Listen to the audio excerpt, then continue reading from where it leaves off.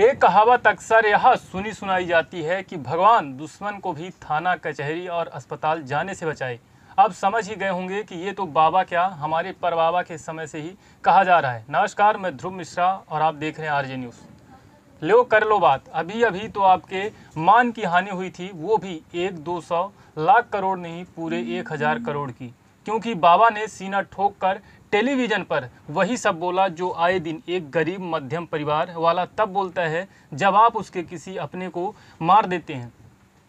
जब जब किसी अपने के मर जाने के बाद भी उसकी मृतदेह उसके हवाले तब तक करने से इनकार कर देते हैं, जब तक कि वो आपके पाँच सितारा नर्सिंग होम या अस्पताल की पाई पाई ना चुका दे। लेकिन अब बाबा ने कहा, वो भी भगवाधारी। तो फिर उस संघ के हेड मॉनिटर, जो अंकल जान बनकर सबको क्रॉस कर रहा था, उसे तो भीतर तक चुभना ही था। खैर, मगर ये क्या सुना है कि आपने मान और हानि दोनों की ही शिकायत वापस ले ली, उल्टा अपने ऊपर मुकदमा और ठुकवा लिया।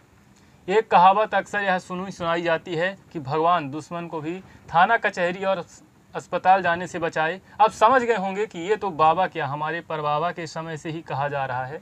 या ये कहिए कि तब से कहा जा रहा है जब से इन सब का अस्तित्व समाज में आया। या कहें कि थोपा गया। चलिए, इसे भी खत्म करते हैं और कुछ सवाल पूछते हैं आपसे। अरे नहीं बाबा जी वाले नहीं, हमारे सवाल अलग हैं। बाबा वाले तो आपके लिए आउट ऑफ़ सिलेबस रहे होंगे। मैं सिलेबस से ही पूछना चाहता हूँ।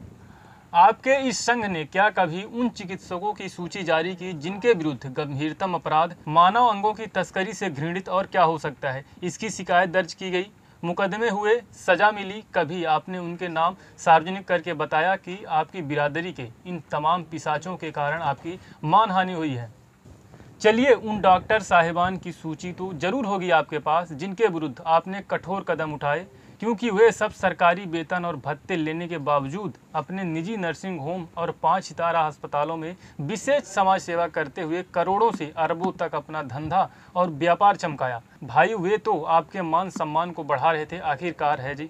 अच्छा ये बुरा लग गया होगा आपको। चलिए फिर उन डॉक्टर साहब की लंबी वाली सूची तो होगी ही, जिन्होंने शहर के सारे सुख चैन, आराम, रुतबा पैसा, स्टेटस को लात मारकर सुदूर ग्रामीण क्षेत्रों में सिर्फ़ इसलिए जाना पसंद किया क्योंकि असल में इस पेशे को अपनाते हुए खाई दिलाई गई कसम सिर्फ़ इन्हें ही याद रही।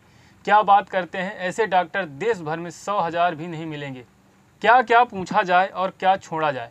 चलिए बात सिर्फ़ इस बात से ख़त्म करते हैं कि मान लीजिए बाबा ने हज़ार करोड़ दे देते हैं और बाबा की कही और आपको आईना दिखाती बातों को सही मान लिया जाए और यदि इसी हिसाब से बाबा ने 2000 से 3000 करोड़ देकर आपको पूरी तरह से मानहीन कर दिया तो तभी तो कहते हैं डॉक्टर बाबू, जिनके दस्त लगे होना उन्हें शंख बजाने से परहेज करना चाहिए, फिर आपकी ऑक्सीजन तो पहले से ही वेंटिलेटर पर है।